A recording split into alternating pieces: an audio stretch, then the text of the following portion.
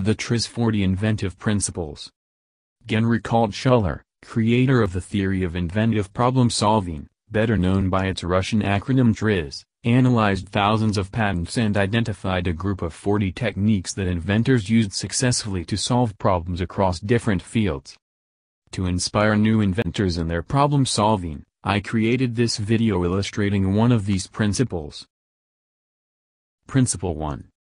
Segmentation. Divide an object into independent parts. For example, mecanum wheels. By dividing a solid wheel into angle rollers, mecanum wheels allow a vehicle to move forward, backward, and sideways.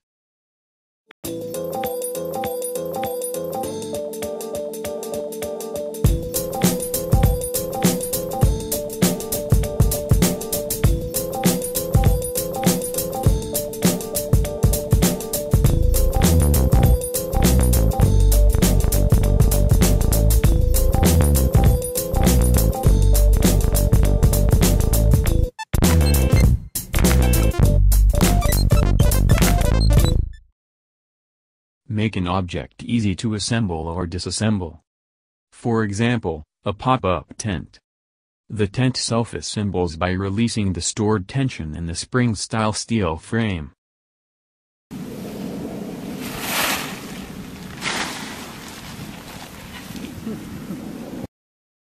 Increase the degree of fragmentation or segmentation. For example, a contour duplicator marking tool. A row of movable teeth in a housing that holds them in place as they take an impression of the surface.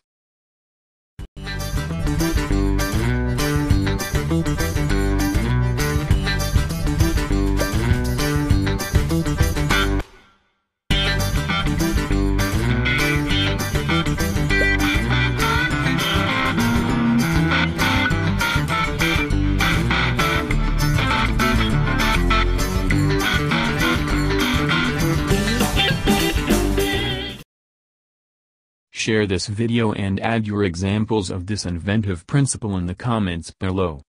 Segmentation. Divide an object into independent parts.